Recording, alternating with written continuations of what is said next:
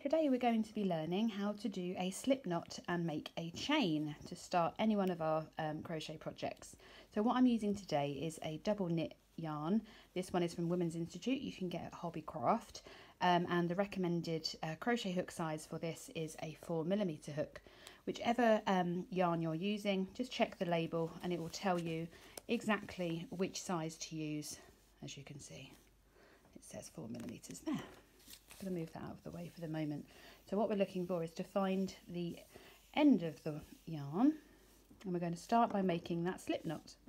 So the easiest way to do that is to take the tail in your left hand, bring a loop over the front and just kind of pinch it between there.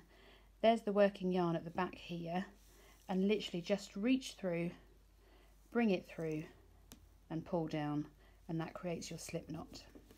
We'll do that again just to be safe. So with your tail yarn in your left hand, you bring that loop round and just pinch it there, put that yarn behind and just bring it through that loop.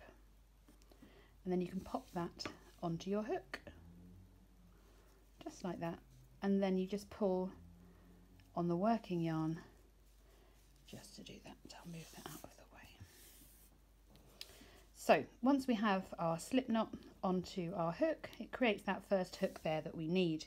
So what we're going to be doing is to be starting to chain. So your pattern will tell you how many chains you need to make. But when you're practicing, just keep doing them until they're all the even size.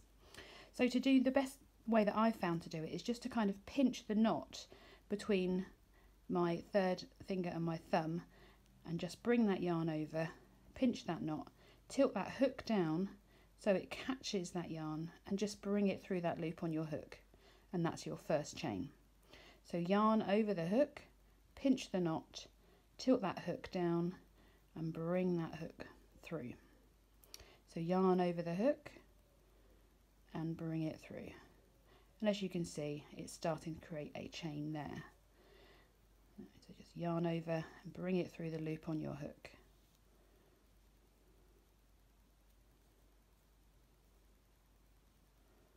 Simple as that. Now you may find that when you're starting your chain is in, it's very tight and that's something that you want to avoid because you do need to work it back the other way.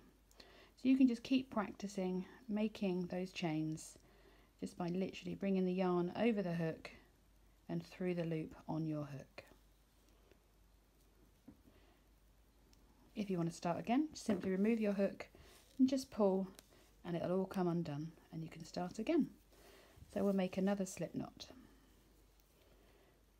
So with the tail end in your left hand, bring that loop round, pinch it between, bring that working yarn back through and just pull to create your slip knot and then pass your hook through and pull on the working yarn and it will tighten it onto your hook.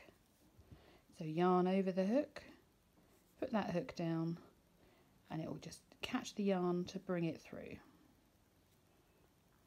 Yarn over the hook, bring it through that loop on your hook.